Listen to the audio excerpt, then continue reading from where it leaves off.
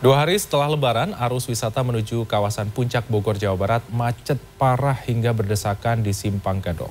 Ya, sementara itu ribuan penumpang komuter lain membludak di stasiun Bogor, Jawa Barat hingga membuat antrean parah.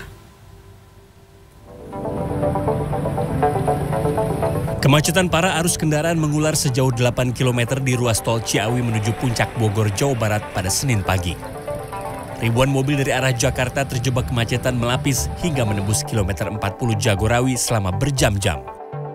Bahkan kemacetan kian parah lantaran membludaknya arus pemotor dari kedua arah.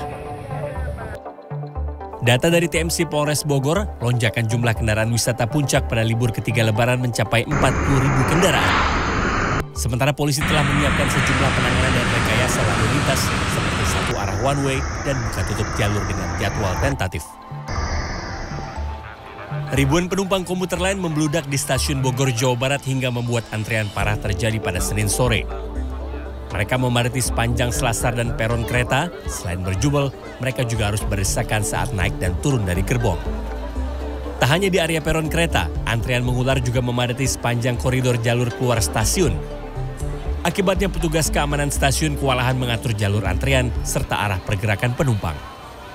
Selain membludaknya jumlah penumpang, kepadatan juga diperparah titik sekat keluar masuk gate stasiun. Kepadatan penumpang kali ini disebabkan lonjakan arus balik dan wisata di hari ketiga lebaran. Tim Liputan CNN Indonesia.